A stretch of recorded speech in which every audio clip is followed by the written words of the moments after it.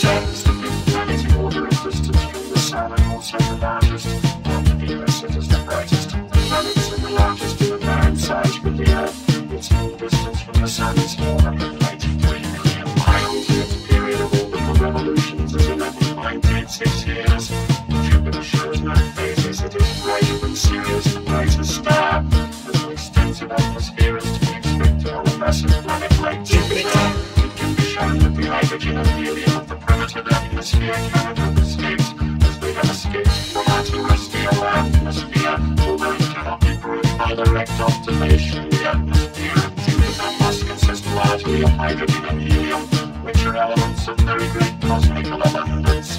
The pressure at the bottom of the atmosphere is fully times the pressure at the bottom of the Earth's atmosphere.